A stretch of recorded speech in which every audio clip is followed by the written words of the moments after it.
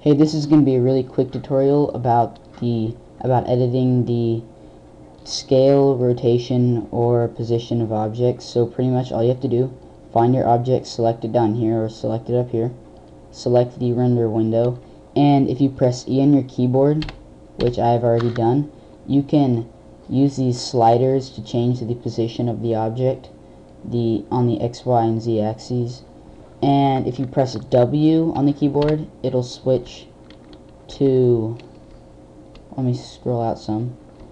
Here's the rotation. So it's weird the cheese isn't actually it doesn't have a center model but on most this will revolve around the object this little um, sphere.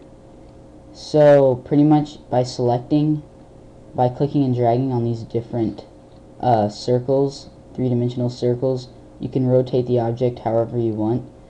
And let's say you wanted a really small piece of cheese. Let me move it over here some by pressing E.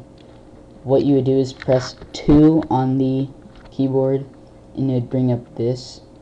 And pretty much all you do is click and drag to change the size. To make a really small piece of cheese. Alright, thanks for watching.